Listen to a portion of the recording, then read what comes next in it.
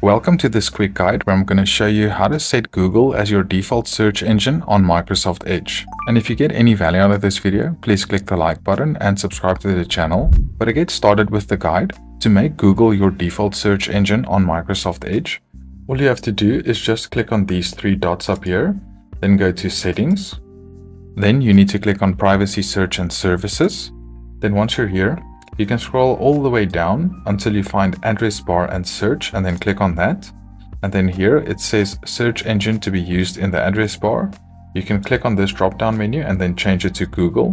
Here you can change this search on new tabs user search box or address bar to address bar.